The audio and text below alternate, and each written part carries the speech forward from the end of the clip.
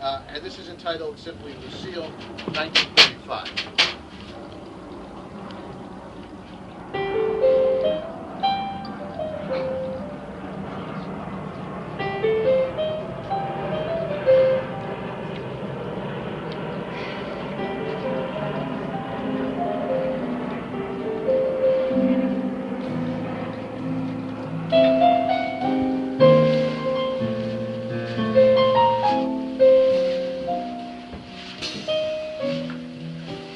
Thank you.